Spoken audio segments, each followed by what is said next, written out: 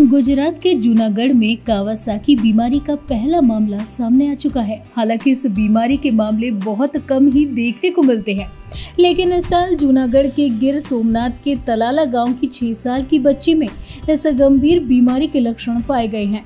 इस इलाके में इस तरह का ये पहला मामला बताया जा रहा है। बच्ची को फ़िलहाल इलाज के लिए जूनागढ़ के सिविल अस्पताल में भर्ती कराया गया, जहाँ डॉक्टर उसका इलाज कर रहे हैं।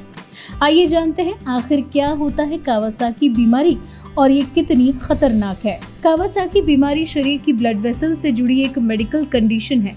इस कंडीशन में ब्लड वेसल्स की दीवारों में सूजन आ जाती है। ये सूजन हार्ट तक रक्त पहुँचाने वाली धमनियों को कमज़ोर कर देती है। अगर स्थिति गंभीर हो जाए तो पेशेंट को हार्ट फेलियर और हार्ट अटैक तक हो सकता है।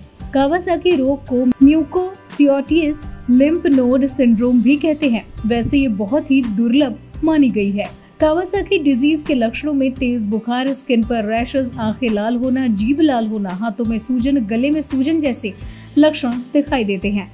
कावासाकी रोग संक्रामक नहीं है, यानी ये एक व्यक्ति से दूसरे में नहीं फैलता। अक्सर ये बीमारी अपने आप ही ठीक हो जाती है, लेकिन अगर इसके लक्षण गंभीर हो तो ये हार्ट पर बुरा असर डालती है। फ़िलहाल इस वीडियो में इतना ही। वीडियो को लाइक और शेयर करें। साथ ही चैनल को सब्सक्राइब करना ना भूलें।